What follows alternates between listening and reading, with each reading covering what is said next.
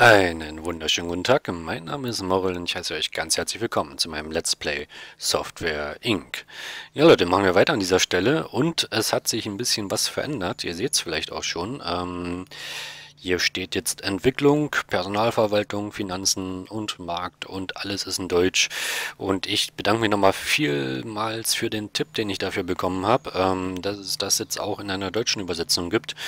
Und ja, ähm, freue mich ein bisschen darüber, weil ihr wisst ja oder habt es ja mitbekommen, mein Englisch ist jetzt glaube ich nicht gerade das Beste.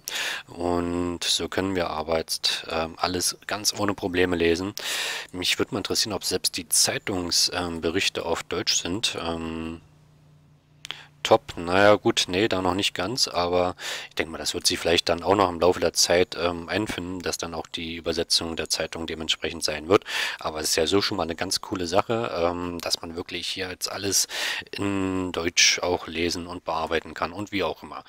So, wir spulen erstmal vor zum nächsten Tag. Wir sind ja gerade mitten dabei, ähm, die Moral Engine 3 zu entwickeln und werden, ähm, denke ich, dann über kurz oder lang dann ähm, ja ein kleines äh, extra Spieleentwicklerteam ähm, äh, einstellen müssen. Dazu ja, könnten wir eigentlich jetzt schon mal äh, ganz nebenbei schon mal gucken, dass wir da die entsprechenden Leute mit ranbekommen. Hm, wir gehen mal auf Mitarbeiter einstellen. Und natürlich ja Maximum, das soll ja erstmal so sein. Nehmen wir gleich direkt erstmal einen für die Führung. Das wäre vielleicht ganz praktisch. Ähm, so, was haben wir denn hier alles? Äh, 34, das ist doch ein gutes Alter, glaube ich.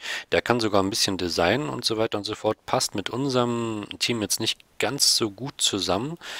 Der ist Cookie und naiv. Ne? Wir suchen mal jemanden mit ähm, vielleicht guten Werten. Ähm, ich überlege, was ich immer sonst genommen hatte früher. Ähm, wo haben wir das denn? Dramatik, Misanthrop, um Gottes Willen. Misanthrop, bloß nicht. Flirt, naiv ist es auch nicht. Dramatik, Optimistik. Ich glaube, Optimistik hatte ich auch immer. Und ähm, Optimistik und Flirt, kann das sein? Finden wir hier jemand, der optimistisch und Flirt ist? Oder hatte ich Goofy? Obwohl das geht eigentlich auch. Generous, also großzügig, optimistisch und großzügig. Ähm, oder ich hatte optimistisch und extrovertiert. Das kann auch sein. Das bin ich mir gerade gar nicht sicher. Ich würde auf jeden Fall mal versuchen, so jemand zu finden, weil ähm, damit hatte ich eigentlich ganz gute Erfahrungen gemacht, bevor ich leider jetzt hier für unser Let's Play hier den Moral falsch ausgestattet hatte und da einfach die Voreinstellung übernommen hatte.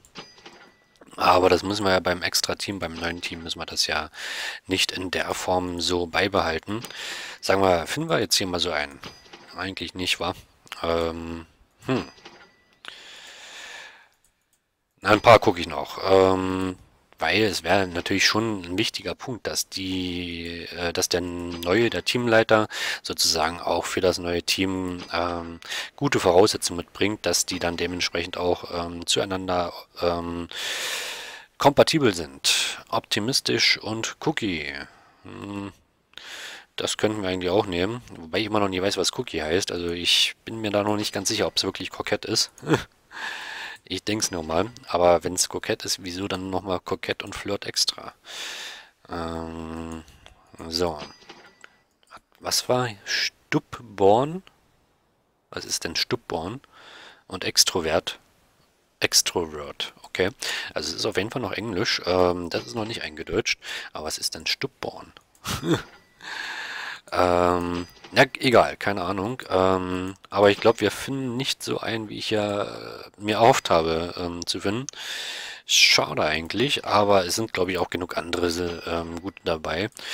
Und ich glaube, ich gucke gleich nochmal nach oben äh, bei den, ja, die ganz oben jetzt mit dabei waren.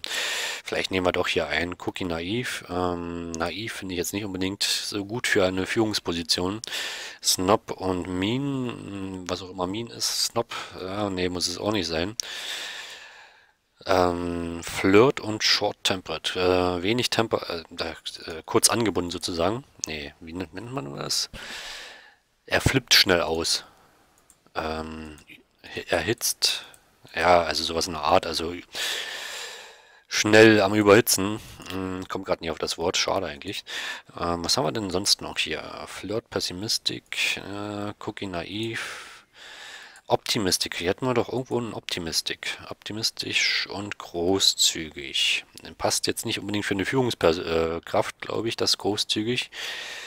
Ja, schon wieder Stubborn. Aber irgendwas mit optimistisch hätte ich gern. Denn ich mag Optimismus. Bin zwar persönlich eher der Realist, aber ich finde Optimisten ganz gut. so. Ähm, wo haben denn? Nirgends. Ja, dann nehmen wir hier, ach, ich bin hier schon wieder nur am Quatschen. Wir nehmen jetzt hier einfach den nächstbesten, der mir ähm, auffällt. Äh, ich habe es auch gleich, Leute, versprochen. War ich nicht optimistisch? Dramatisch und optimistisch. Ja, da geht der Optimismus in einer Dramatik los. Kristen Arbert, ähm, die nehmen wir. Mal schauen, wie sie kompatibel zu anderen ist. Notfalls können wir die auch wieder ähm, feuern, das soll ja kein Problem sein. Teams verwalten, ähm, neues Team und zwar, ähm, ja, Spieleteam. Sowas in der Art zumindest, würde ich jetzt sagen. Und ähm, in das Team kommt jetzt Kirsten rein oder Christen oder wie sie hieß. Christen, Arbeit. Okay, ähm, Team ändern und Spieleteam. Jawohl. So, da hätten wir sie dort drin und dann können wir natürlich noch ähm, jetzt ganz gezielt für das Spieleteam weitere Leute einstellen. Da brauchen wir zum Beispiel Programmierer im Schwerpunkt, vielleicht System. 2D ist eh bald überaltet, ähm, denke ich mal so spätestens vier Jahre, 1990, dann ist 2D, glaube ich, aller spätestens ähm, veraltet. So, jetzt gucken wir mal. Core 43%, ähm, Kompatibilität hier schon ein bisschen mehr, das sieht doch schon ganz gut aus. Äh, auch ähm, 62%, 31, 75%, ähm, nochmal 75, 36, na so richtig kompatibel scheint sie ja auch nicht zu sein, die Christen. Ähm, hm. 81 Prozent. Notfalls nehmen wir jetzt jemand, der nicht ganz so hundertprozentig kompatibel ist. Naiv und Flirt. Okay. Na, dann holen wir dich erstmal. Okay, und dann brauchen wir auf jeden Fall noch einen Designer. Deswegen hier noch einmal und ähm, ja, einen Designer. Und der sollte natürlich, wenn es geht, auch noch kompatibel sein. Aber ich hoffe ja, wie gesagt, durch das äh, neue Team, dass wir dort jetzt ähm, leichter mal fündig werden. Ja, jetzt haben wir doch schon 103 Prozent. Das ist doch schon mal sehr gut. Seine Skills sind auch so halbwegs in Ordnung. Müssen wir sicherlich dann noch ähm, ein wenig ähm, skillen, also zur Weiterbildung schicken und so weiter und so fort. Hier haben wir auch nochmal einen Designer, 102%, den kommt, den nehmen wir auch gleich mit, wenn wir jetzt einmal dabei sind. Und was haben wir sonst noch? Ähm, einen Künstler brauchen wir noch. Und ich werde die heutige Folge mal ein bisschen länger machen, denn sie kommt auch ein bisschen verspätet raus. Sorry, ähm, ich bin heute leider erst dazu gekommen, die heute aufzunehmen. Heute, wo sie auch rauskommt sozusagen. Denn ich war, ich weiß gar nicht, ob ich das erzählen soll oder will. Auf jeden Fall war ich die letzten zwei Tage im Krankenhaus. Ähm, ja, und habe mich heute freiwillig entlassen. So, und deswegen kann es auch sein, dass bei dem ein oder anderen ähm, Let's Play das vielleicht gerade mal ein bisschen hinterhängt, wie zum Beispiel jetzt hier. Und das wird sich aber jetzt wieder einstellen, denke ich mal. Also es müsste jetzt alles soweit in Ordnung sein. So, nehmen wir hier noch den Artist. Der hat richtig gute Werte sogar. Ähm, ist das noch derselbe? Nein, ist ein anderer jetzt. Okay. Gut, da hätten wir unser neues Team zusammengestellt und ähm, dann ab dafür. Und dann geht es hier mit der Moral Engine schon gut voran. Die brauchen wir natürlich dann gleich, wenn dann unser neues Team mit dabei ist, was dann sich speziell um die Spiele kümmern soll. Was wir schon mal machen können, natürlich in Vorbereitung für das Team, ähm, dass wir schon mal die Raumzuweisung vornehmen. Dass wir jetzt hier zum Beispiel schon mal sagen, okay, ähm, Team wechseln und du bist Spieleteam. Und dann du natürlich hier auch noch. Die Toiletten werden wir dann auch noch zuweisen. Ähm, Spieleteam und hier, glaube ich, Nein, das war ein Gegenstand. Wo haben wir denn den Raum? Hm, auch nicht jetzt. Switch-Team und Spieleteam und, na, hier auch noch. Ähm, hier. Nein, schon wieder nicht. Mensch. Jetzt aber.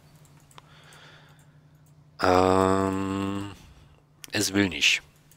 Aber jetzt, okay, Switch-Team und Spieleteam hätten wir. Und das war aber schon Spieleteam, glaube ich. Dann machen wir vorsichtshalber nochmal. So, da hätten wir das. Ähm, und dann können wir natürlich jetzt hier, großartige Qualität haben wir schon, Network wird noch gebraucht, das kriegen wir aber gleich hin. Das müsste sich dann anpassen, die haben aber gleich Feierabend, glaube ich. Und naja, gut, dann machen wir das halt am morgigen Tag weiter. Da ist unser Spieleteam zwar schon da auf Arbeit, aber das könnten wir ja trotzdem schon mal ein bisschen entwickeln lassen. Das soll uns ja nicht stören, wenn die dort oben fröhlich vor sich hin werkeln. Und ähm, also erstmal wieder reinfinden hier wegen der Tastaturbelegung. Ist das jetzt schon wieder rückläufig? Da. Nee. Nee, ist noch nicht rückläufig. Sah gerade so kurzzeitig so aus, als wenn Network wieder zurückging. Hätte mich aber auch gewundert, ehrlich gesagt. Ähm, so, entwickeln. Da sind wir jetzt in der Alpha-Phase und ähm, es geht auch relativ gut ab hier. Audio wird äh, fast mit als erstes ähm, fertig sein, genauso wie 2D. Aber wir haben ja unsere Mitarbeiter auch gut geschult, glaube ich, in den letzten Folgen. Ähm, Quatsch, nicht jetzt nochmal neu einstellen, sondern erstmal hier gucken.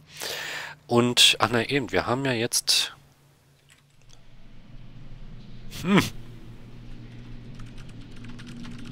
Was macht der denn für Gymnastik? Oder die? Ist das... das habe ich ja noch nie gesehen. Na, das muss so sein. Das sieht ja auch gar nicht merkwürdig aus. naja, okay. So, unser Spieleteam. Ähm, lässt es sich oben hier gut gehen. Die äh, faulenzen hier gerade fröhlich vor sich hin. Aber ich glaube, wir müssen sowieso erst noch, ähm, bevor das hier wirklich auch abgehen kann, dementsprechend, ähm, müssen wir sowieso erst noch den Teamleiter, das müsste der hier sein, oder sie, Christen Abbott, ähm, müssten wir sie noch auf Weiterbildung schicken. Und zwar ähm, ausbilden. Und dann brauchst du nämlich hier, glaube ich, Projektverwaltung und na, Personalverwaltung vielleicht nicht unbedingt, aber Projektverwaltung auf jeden Fall. Projektverwaltung erlaubt dem Teamleiter automatisch neue Produkte zu entwickeln und die Aufträge an seine Abteilung weiterzugeben. Genau das müssen wir mit dir erstmal machen. Und während du dann drei Monate dort auf Weiterbildung bist, denke ich mal, können wir die anderen dann vielleicht auch noch ein bisschen ausbilden gleichzeitig. Da haben wir hier ähm, einen Designer, noch ein Designer, okay. Ähm, und wo ist denn unser... Da. Dich werden wir auf jeden Fall noch ausbilden. Und zwar, ja, vielleicht trotzdem erstmal in 2D, weil noch ist 2D aktuell. Hm, kommt. Und zwar Programmieren 2D und machen wir gleich drei Monate. Wie sieht's aus? Ja, kommt, machen wir gleich drei Monate. Ausbildung beginnen und dann haben wir hier die Christen nochmal. Die brauchen wir nicht. Hier können wir nochmal ausbilden. Du machst vielleicht Design im Networking und so. Und dann auch drei Monate ausbilden und dann hier noch ähm, ausbilden und bei dir könnte man vielleicht auch auf 2D erst nochmal gehen. Das wäre vielleicht auch nicht das Verkehrteste. Also Ausbildung beginnen. Ab geht's dafür. Und ja, so, hätten wir. Dann ist jetzt hier fast das Spielchen, äh, Quatsch, die Engine schon soweit fertig. Da können wir dann wirklich ähm, damit dann auch schöne Spiele hoffentlich entwickeln. Also macht zumindest erstmal, ist ja, glaube ich, die neueste äh, ihrer Art auf den Markt. So, promoten noch und ähm, Bugs raus und dann auf Release. Ich weiß gar nicht mehr, haben wir die Engine nur für uns zugänglich gemacht? Ich weiß es gerade gar nicht mehr. Ähm, ja, wir machen mal vorsichtshalber trotzdem Marketing. Notfalls nehmen wir sie wieder weg vom Marketing. Ähm, so. Und zuweisen ans Marketing-Team natürlich. Und dann müsste es soweit passen. So, jetzt gucken wir gleich erstmal nach ähm, Releases. Und zwar ähm, wo haben wir es? Spiele-Engine, genau. Und dann hier. Ist eine große Spiele-Engine. Hat mal, unsere letzte war noch eine kleine. Okay, Beliebtheit ist aktuell noch schlecht, aber das kann sich ja noch verändern. Sie ist am Markt und ähm, hat wohl auch schon einen Käufer gefunden, wenn ich das hier richtig sehe, mit der Lizenz. Oder ist das der Lizenzpreis? Das kann natürlich auch sein, ähm, dass es der ganz normale Lizenzpreis ist. Und sie ist in-house, also sie kann auch keinen Käufer gefunden haben. Wir haben es in-house pro äh, programmiert. Na gut, dann werden wir sie halt vorwiegend selber benutzen. Ähm, das soll aber natürlich gar kein Problem sein.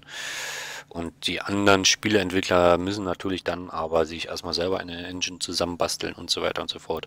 Und von daher, ja, ich glaube, wir sind sowieso schon sehr gut aufgestellt. 11 Millionen haben wir auf dem Konto und ähm, ja, auch ansonsten, was unser ähm, aktuelle Aufstellung angeht. Moral Win 3 ist auf dem Markt, ähm, Moral Draw ist auf dem Markt, ähm, auch die dritte Version. Ja, das werden wir schon mal beenden, weil wir fahren ja schon Minus ein. Ähm, Moral Audio fährt auch schon Minus ein, wenn wir auch schon runternehmen. Die Firewall ist noch mit dabei mit 260.000, das ist ganz schön viel.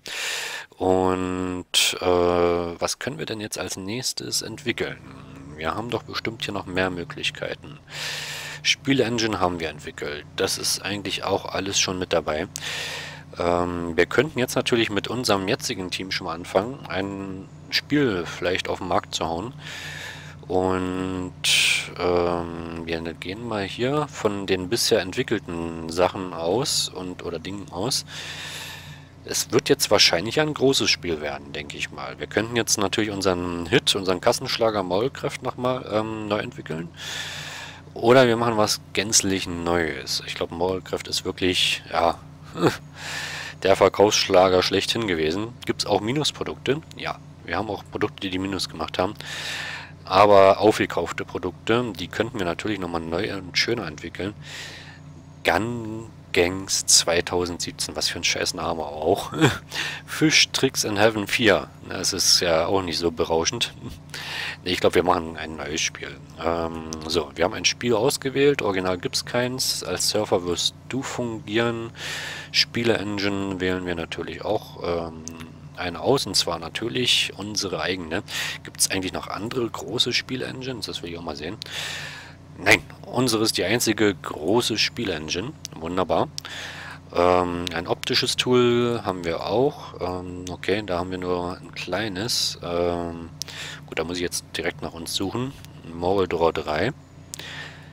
Und Audio-Tool nehmen wir auch eins. Ähm, natürlich auch unser eigenes, das Moral Audio 3.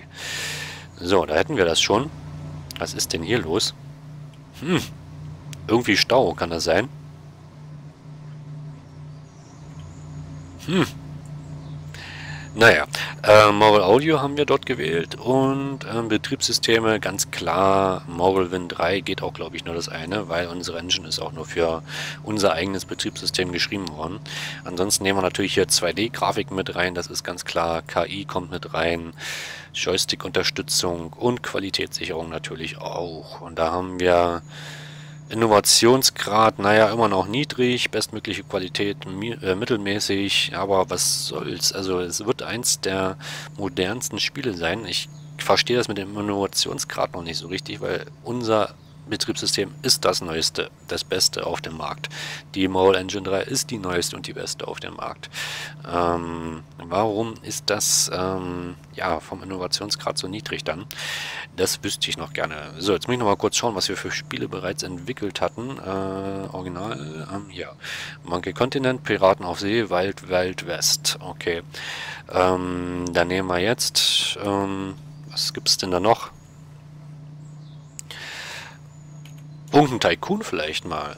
Ähm, Matt Wurst Tycoon. Ja, Matt Wurst Tycoon wird der neue Hammer, der neue Hit. Ähm, wir gehen auf Entwickeln und los geht's dafür. Künstler benötigt 13%, okay, aber es müsste alles soweit richtig eingestellt sein. So, bei Madwurst Tycoon ist ganz klar, da wird die Madwurst live ähm, geschlachtet also das Schwein, und dann verarbeitet und dann durch den Häcksler gedreht und dann auf den Verkaufsstand geworfen. um Gottes Willen. ja, also wird ein sehr beliebtes Spiel werden. Wieso fahren denn die nicht los? Die mögen hier die Arbeit, kann das sein? So, das scheint ein kleiner Bug zu sein. Ähm, aber gut, ich bin gespannt, wie sich Mad Wars Tycoon entwickeln wird und ja, ich glaube, fünf Minuten machen wir noch. Ähm, da sehen wir das vielleicht noch, ähm, ob Mad Wars Tycoon der Hit wird oder nicht. Äh, die Entwicklung geht erstmal gut voran. 2D und General ist alles mit dabei. Ähm, hier oben dürfte jetzt keiner mehr auf Arbeit sein. Genau, die haben wir alle auf Weiterbildung geschickt. Und hier unten, die werkelt fröhlich vor sich hin. Ich weiß gar nicht, ob die alleine ausreicht. Ähm, wir haben eine Review, okay. Ihr Unternehmen, Moral Engine 3 ist a masterpiece, jawohl. Moral Engine 3 ist taken, uh, is taking gaming to new highs. It's uh, das Moral Engine Justice. Okay, also stellt ähm, unsere alte Moral Engine in den Schatten und ja, wir sind gut mit dabei. Wird allerdings nicht verkauft, deswegen weiß ich auch nicht, was das hier in der Softwarezeitung zu tun hat im Endeffekt, aber mein Gott. Wir sind halt so, wir haben halt so eine gute Engine, die berichten auch darüber. So, jetzt haben wir das soweit fertig, gehen wir auf Entwickeln und dann Alpha-Phase natürlich. Okay, erst am nächsten Tag. So. Und dann müssten ja aber langsam oder bald auch die oben wieder mit dabei sein. Reichen denn die Parkplätze noch aus? Hm, sieht noch gut aus. Kommen noch zwei zu Fuß an, okay. Wir müssten vielleicht aber trotzdem über kurz oder lang, das werden wir mal noch gleich machen, hm, erstmal wieder hier zurechtfinden, ähm, noch jemand anstellen, der sich um unsere ja, Server und so weiter kümmert. Also einen Hausmeister müssen wir anstellen. Das, ähm, den können wir aber auch ein bisschen später kommen lassen. Das wäre vielleicht auch nicht ganz verkehrt. Ähm, von 12 bis 16 Uhr, denke ich mal, sollte passen. Und ähm, eine Putzkraft könnten wir eigentlich auch noch holen, oder? Gott, wir haben so viel Kohle. Ähm, warum nicht? Und unsere Mitarbeiter, also wir haben ja auch immer mehr Mitarbeiter und so weiter und so fort. Und von daher denke ich mal, das sollte passen. So, MadWurst Tycoon ist fertig entwickelt und es wird in die Entwicklung gleich, äh, Quatsch, in die Entwicklung, ins Marketing geschickt. Ich überlege, ob ich das jetzt hier im Vorfeld schon mal kurz äh, per Marketing mache, obwohl das ist eigentlich sinnlos, kommen wir gehen gleich auf Release. Ähm, so, starte Marketingkampagne und zuweisen Marketing. Aber ich glaube, das war gerade falsch, da ich das vor im Vorfeld schon äh, gemacht habe. Naja, egal. Auf jeden Fall bin ich gespannt, wie sich das entwickelt. Das schauen wir uns noch grad, äh, gemeinsam mit an und dann, naja, immerhin 276.000, aber ich glaube, das könnte an dem Fehler gelegen haben, den ich gemacht habe, dass ich das im Vorfeld ähm, ins Marketing geben wollte.